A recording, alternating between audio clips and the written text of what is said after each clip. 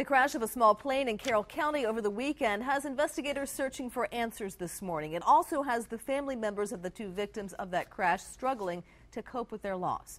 11 News reporter Jennifer Franciotti live here in the studio with that story. Good morning, Jen. Good morning. Letty Williams leaves behind two sons and five grandchildren, and they say her spirit of adventure and love of life will dearly be missed. I was devastated. You know, it was it was it was devastating. It's my mom, you know. Eric Ruff says it's just starting to sink in that his mother is gone. Letty Williams died when the plane she was riding in crashed in Carroll County Saturday, just minutes after taking off. He wants his mother to be remembered for the outgoing, caring person she was. Without going overboard, she just liked having a good time.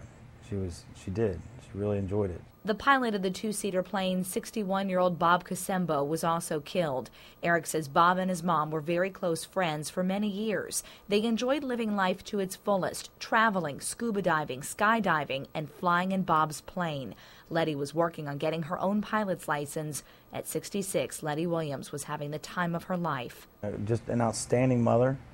Loved her kids. She has five grandkids, loves them to death. Um, and that she was a lot of times the life of the party. And Eric says his one consolation is that she died doing what she loved, but he says it's hard to understand why. Put your trust in the Lord and, and, and, and go forward. You know, everything, there's a plan and there's a reason, not for me to know or anybody else to know. And right now, funeral arrangements have not been made. Meanwhile, the federal investigator uh, are trying still not release any information on what caused this plane crash to go down, but we will be trying to follow up on this story. Reporting live here in the studio, Jennifer Franciotti.